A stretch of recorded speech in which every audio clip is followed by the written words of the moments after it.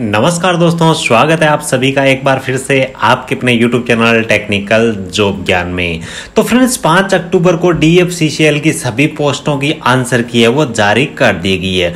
और दोस्तों आंसर की आने के बाद में आपका जो अगला काम है, वो है दोस्तों ऑब्जेक्शन सबमिट करने का। तो आपको किसी भी क्वेश्चन के अंदर आपको डाउट है, आपको लग रहा है कि आपका ये क्वेश्चन है, वो सही है और डिपार्टमेंट की जो आंसर की है, उसके अंदर मिस्टेक है। या फिर उन्होंने, उसके अंदर एक से ज़्यादा आंसर है, वो राइट हो रहा है या फिर दिए गए विकल्प में से कोई भी विकल्प है, वो उसका सही नहीं है तो आपको वहाँ पर ऑब्जेक्शन ज़रूर सबमिट करना चाहिए। दोस्तों, आज के इस वीडियो के अंदर मैं आपको बताऊँगा कि सही से किस हिसाब से आपको ऑब्जेक्शन सबमिट करना चाहिए, ताकि आपके ऑब्जेक्शन को डिपार्टमेंट है, वो वैलिड करार दे। और कौन कौन से दोस्त है, किस टाइप के जो विद्यार्थी है उनको ऑब्जेक्शन है, वो सबमिट करना चाहिए। तो इन सभी चीज़ों के बारे में आपको अच्छी तरीके से बताने वाला हूँ। तो फ्रेंड सबसे पहले आपको इस वीडियो को डिस्क्रिप्शन में लिंक मिलेगी। जिस लिंक पे आप क्लिक उस लिंक पे आप क्लिक करोगे तो आपके सामने यही स्क्रीन ओपन हो जाएगी, जो कि आपको यहाँ पे दिखाई दे रही है। तो फ्रेंड सबसे पहले आपको यूज़र आईडी और उसका पासवर्ड डाल करके लॉगिन करना होगा। तो आप कहोगे, सर, हमारे पास में तो यूज़र आईडी और पासवर्ड हमारे पास में अभी है ही नहीं। तो फ्रेंड जिस टाइम आपने अप्लीकेशन फॉर्म सबमिट किया था, उस टाइम आपको एक मेल प्राप्त हुआ था, उसके अंदर आपको यूज़र आईडी और पासवर्ड मिले थे तो आप अपनी मेल आईडी ओपन कर लीजिए, वहाँ पे मेल आईडी के अंदर डीएफसीसीएल सर्च कर लेना तो डीएफसीसीएल की आपको कोई ना कोई मेल मिलेगी, जिसके अंदर आपको यूज़र आईडी और पासवर्ड मिलेंगे। तो मैं यहाँ पे दोस्तों, सबसे पहले यूज़र आईडी पुटअप कर देता हूँ, उसके बाद पासवर्ड इंटर करके लॉग कर लेता हूँ। तो यहाँ पे आपको सबसे पहले एप्लीकेशन डिटेल्स दिखेगी, उसके बाद में कैंडिडेट्स रेस्पॉन्स दिखेगा और उसके बाद में ऑब्जेक्शन ऑब्जेक्शन का फॉर्म दिखाई देगा।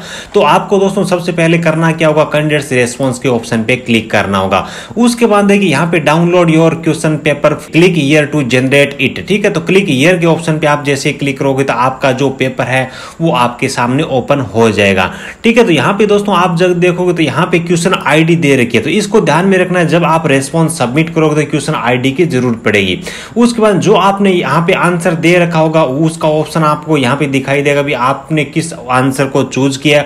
और यहाँ पे जो ग्रीन दिखाई दे रहा होगा, ये डिपार्टमेंट की तरफ़ से घोषित किया गया राइट आंसर होता है दोस्तों।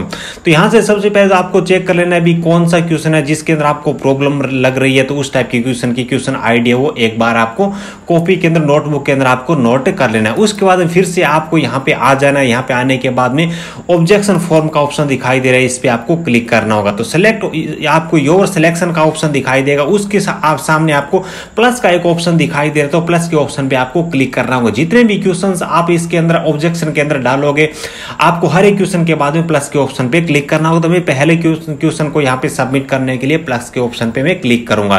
क्लोज के ऑप्शन पे क्लिक करूँगा। उसके बाद देखिए, यहाँ पे मेरे सामने ये फॉर्म ओपन हो चुका है।